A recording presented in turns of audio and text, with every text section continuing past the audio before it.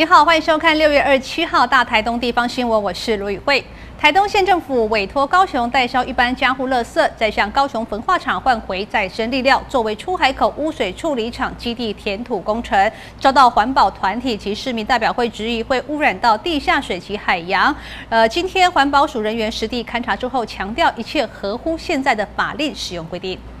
台东县政府将从高雄焚化厂换回的再生力料，作为太平溪出海口污水处理厂基地的填土工程，遭受到环保团体以及市民代表质疑，这样的做法会污染地下水以及海洋。过一次，现在问题出现在哪里？为什么今天台东要运回底渣？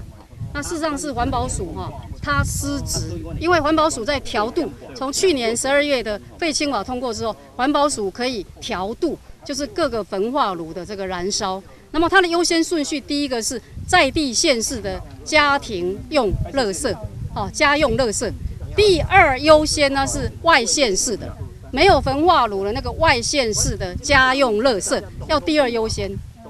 有余意之后呢，第三才能够烧事业废弃物。所以其实就是说，今天导致我们这个没有焚化炉的县市送去呃外县市烧的时候呢，却要换回底渣。当然，这个底渣的比例本来就不合理了哈。但是今天会导致这样，是因为事实上是环保署他废弃自己的职责。当环保署科长以及环保局副局长一同来到太平溪实地查看，并与环保团体一同讨论。如果可以这样的话，那是不是表示之前那个中南部发生的问题？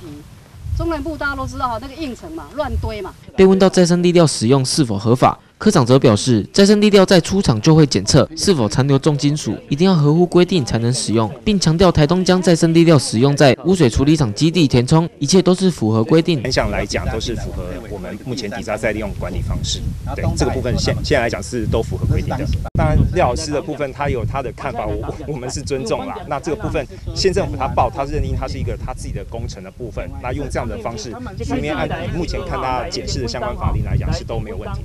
台东污水厂用地的这一个